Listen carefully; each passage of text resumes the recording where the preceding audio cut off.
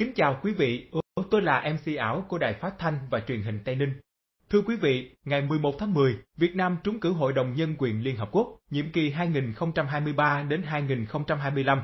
Đây là một tin vui đối với nhân dân Việt Nam và một lần nữa khẳng định sự đúng đắn trong chính sách nhất quán của Đảng và nhà nước lấy con người làm trung tâm, chủ thể, nguồn lực quan trọng nhất và mục tiêu của sự phát triển, bảo đảm tất cả người dân được hưởng các quyền con người trong khuôn khổ luật pháp,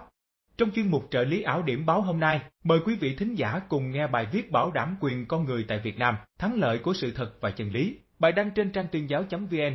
Thưa quý vị, quan điểm nhất quán về bảo đảm quyền con người tại Việt Nam đã được cụ thể hóa trong các chiến lược, kế hoạch phát triển kinh tế xã hội, đồng thời cũng được thể chế hóa trong hiến pháp và pháp luật, theo đó các quyền con người, quyền công dân về chính trị, dân sự, kinh tế, văn hóa, xã hội được công nhận, tôn trọng, bảo vệ và bảo đảm theo hiến pháp và pháp luật. Trước đó, năm 2013, Việt Nam lần đầu tiên trúng cử vào Hội đồng Nhân quyền Liên Hợp Quốc, nhiệm kỳ 2014 đến 2016. Để đạt được kết quả này, phía Việt Nam đã cam kết và nhấn mạnh các ưu tiên cũng như những nỗ lực đóng góp của Việt Nam đối với cộng đồng quốc tế và thúc đẩy quyền con người trên thế giới, thúc đẩy đối thoại, hợp tác quốc tế bằng tinh thần khách quan, phát triển bền vững, ứng phó với biến đổi khí hậu, bảo vệ và thúc đẩy quyền của các nhóm dễ bị tổn thương, bình đẳng giới, vì sự tiến bộ của phụ nữ, Dư luận quốc tế và trong nước rất ủng hộ khi đón nhận tin vui Việt Nam trúng cử Hội đồng Nhân quyền Liên Hợp Quốc. Ngày 14 tháng 10, Đại sứ quán Mỹ ở Hà Nội lên tiếng chúc mừng trên Facebook, chúng tôi phái bộ ngoại giao Mỹ, gửi lời chúc mừng Việt Nam trúng cử thành viên Hội đồng Nhân quyền Liên Hợp Quốc và hy vọng cùng làm việc để thúc đẩy và bảo vệ nhân quyền trên toàn cầu và tại Việt Nam. Trước đó, trên tờ Washington Times một tờ báo uy tín của Mỹ ngày 21 tháng 9 năm 2022 đăng tải bài viết trong đó, Đánh giá cao việc Việt Nam cử cán bộ tham gia phái bộ gìn giữ hòa bình Liên Hợp Quốc tại Nam Sudan và Cộng hòa Trung Phi.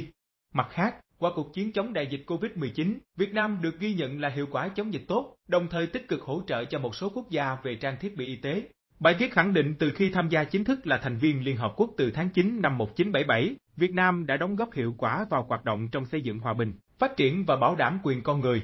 Bên cạnh việc trở thành thành viên Hội đồng Nhân quyền Liên Hợp Quốc nhiệm kỳ 2014 đến 2016 và nhiệm kỳ 2023 đến 2025 sắp tới, Việt Nam còn làm tốt các vai trò khác trên trường quốc tế như hai lần trúng cử ủy viên không thường trực của Hội đồng Bảo an Liên Hợp Quốc, nhiệm kỳ 2008 đến 2009 và nhiệm kỳ 2020 đến 2021, hiện là điều phối viên của Hiệp hội các quốc gia Đông Nam Á, ASEAN tại Hội đồng Nhân quyền.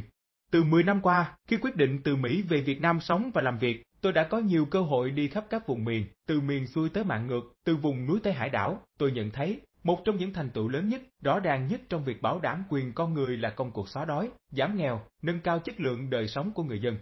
Mỗi nơi tôi đi đến để khảo sát, chứng kiến cuộc sống của người dân, sự lãnh đạo của các cấp chính quyền, qua thực tế đều thể hiện, khẳng định ý chí, coi trọng và phát huy hiệu quả nhân tố con người trong phát triển đất nước, cho thấy đường lối, chủ trương đúng đắn của Đảng và Nhà nước Việt Nam.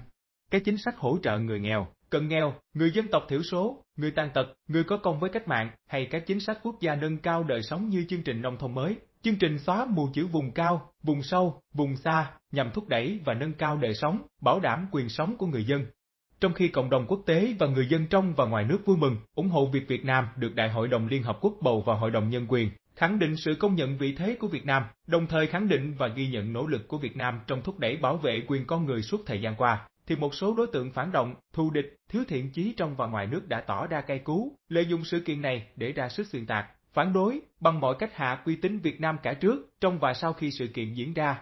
Bất chấp những nỗ lực và thành tựu mà Việt Nam đã đạt được, các đảng phái chống cộng cực đoan ở hải ngoại đã liên tục lên tiếng bôi nhọ vị thế của Việt Nam, họ bị đặt hoặc dựa vào những thứ gọi là báo cáo nhân quyền, để tham gia các diễn đàn dân chủ quốc tế, liên minh các nhóm nhân quyền phi chính phủ thuộc châu Âu, Canada, Mỹ Hồng gây sức ép đối với Việt Nam. Tổ chức khủng bố Việt Tân đã vận động được 8 tổ chức nhân quyền đề nghị Liên Hợp Quốc không cho Việt Nam vào Hội đồng Nhân quyền vì không xứng đáng. Vì Việt Nam đang vi phạm nhân quyền, tuy nhiên việc Việt Nam thuộc nhóm được sự ủng hộ cao nhất tại phiên bỏ phiếu ngày 11 tháng 10 vừa qua là kết quả khách quan, phản bác mạnh nhất, đập tan những luận điệu xuyên tạc của các thế lực thù địch đang cố tình phủ nhận thành tựu nhân quyền của Việt Nam. Nhiều ý kiến thẳng thắn chỉ ra rằng mục đích đánh phá uy tín Việt Nam phía sau đó còn có yếu tố vụ lợi về mặt chính trị và kinh tế. Bởi lẽ các hội nhóm phản động sẽ núp dưới danh nghĩa đấu tranh cho dân chủ, nhân quyền ở Việt Nam để gây quỹ, bòn rút, thu tiền người dân ở hải ngoại qua nhiều hình thức như biểu tình, ký thỉnh nguyện thư, nhận tiền từ các ứng cử viên trong các cuộc bầu cử chính quyền các cấp từ tiểu bang đến liên bang. Ngoài ra, các kênh YouTube cá nhân của các đối tượng chống đối bên ngoài nước cố tình xuyên tạc, chống phá đường lối, chủ trương, chính sách của Việt Nam nhằm khích động, với mục đích câu view, câu like, tạo dư luận trái chiều. Nhóm truyền thông đen này tìm mọi cách để tạo dư luận kể cả bằng những thủ đoạn bẩn thỉu, hèn hạ nhất nhằm thu hút sự chú ý của người sử dụng mạng xã hội vì với lượng truy cập đông đảo thì đó là cách kiếm view tốt nhất, dễ nhất để phục vụ cho mục tiêu kiếm lợi của họ qua không gian mạng. Hiện nay nhiều YouTuber đã lạm dụng quyền tự do sử dụng các nền tảng mạng xã hội để công kích, mặt sát cá nhân, tổ chức, tung tin sai, giả, bôi nhọ cá nhân, tổ chức và thậm chí cả lãnh đạo đảng và nhà nước.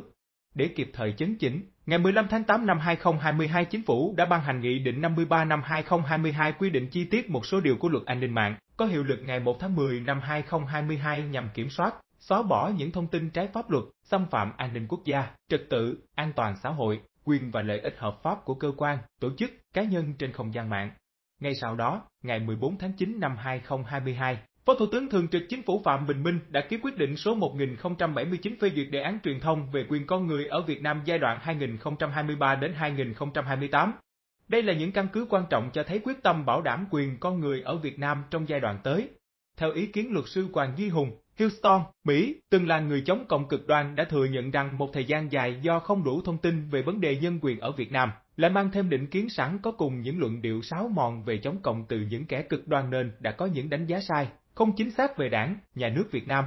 Cho đến khi trực tiếp về Việt Nam tìm hiểu thực tế, ông mới thấy những gì mình biết trước đây là phiến diện, sai lầm. Nhà báo Minh Giang kênh trực diện TV, Mỹ phân tích, nếu cho rằng Việt Nam cần phải cải thiện về nhân quyền, thì các nhóm chống đối trong và ngoài nước thay vì chống đối họ phải ủng hộ. Phải chúc mừng Việt Nam vì trong vai trò thành viên của Hội đồng Nhân quyền Liên Hợp Quốc, Việt Nam sẽ có trách nhiệm và nỗ lực để tiến bộ hơn trong vấn đề quyền con người. Nhưng thực tế họ không muốn Việt Nam tiến bộ, không muốn Việt Nam có vị thế tốt trên trường quốc tế. Họ kích động những đối tượng phản động, cực đoan gây rối trật tự, vi phạm luật pháp ở Việt Nam. Đã có nhiều bằng chứng cho thấy họ hứa hẹn tác động, nuôi dưỡng các phần tử bất mãn chế độ, biến những đối tượng này thành những nhà đối lập với mục tiêu gây bất ổn chính trị, làm ảnh hưởng đến an ninh xã hội, sự bình yên của đất nước. Tất cả các động thái trên được che đậy dưới chiêu bài kêu gọi dân chủ, nhân quyền để thực hiện âm mưu thay thế, lật đổ chính quyền Việt Nam. Tuy nhiên, sự chống phá, cai cứu từ những hội nhóm, thế lực thù địch trong nước và ngoài nước nói trên chỉ là những cản trở cục bộ, không thể xuyên tạc được sự thật, ngăn cản được sự phát triển của Việt Nam. Những thành tựu của Việt Nam đã được thế giới và bạn bè quốc tế ghi nhận. Việt Nam trúng cử vào Hội đồng Nhân quyền Liên Hiệp Quốc là thắng lợi của sự thật và chân lý. Trả lời phỏng vấn nhân dịp Việt Nam trúng cử vào Hội đồng Nhân quyền Liên Hiệp Quốc nhiệm kỳ 2023-2025, Bộ trưởng Ngoại giao Bùi Thanh Sơn khẳng định là đối tác tin cậy, thành viên tích cực và có trách nhiệm, Việt Nam sẽ tiếp tục phối hợp chặt chẽ với các nước thành viên, đóng góp thực chất vào công việc chung của Hội đồng Nhân quyền, thúc đẩy đối thoại và hợp tác quốc tế trên tinh thần tôn trọng, hiểu biết lẫn nhau, thúc đẩy quyền con người, đáp ứng điều kiện, nhu cầu và lợi ích chính đáng của các quốc gia, nhất là các nước đang phát triển. Việc Việt Nam là một trong 14 quốc gia trúng cử làm thành viên Hội đồng Nhân quyền Liên Hợp Quốc với số phiếu cao, và được các thành viên ASEAN nhất trí ủng hộ là ứng viên duy nhất của ASEAN vào vị trí này là minh chứng cho nỗ lực bền bỉ của Việt Nam trong việc thực hiện nghiêm túc các cam kết quốc tế về quyền con người, mà còn khẳng định sự ủng hộ, tín nhiệm cũng như kỳ vọng của cộng đồng quốc tế đối với những đóng góp quan trọng và có trách nhiệm của Việt Nam vào thúc đẩy quyền con người trên thế giới. Với vai trò này, Việt Nam sẽ có thêm cơ hội đóng góp, tham gia tích cực trong các hoạt động của Hội đồng Nhân quyền Liên Hợp Quốc. Quý vị thân mến, quý vị vừa nghe bài viết Bảo đảm quyền con người tại Việt Nam, thắng lợi của sự thật và chân lý bài đăng trên trang tuyên giáo.vn. Chuyên mục trợ lý ảo điểm báo hôm nay xin được tạm dừng tại đây. Cảm ơn quý vị đã quan tâm lắng nghe. Thân mến chào tạm biệt.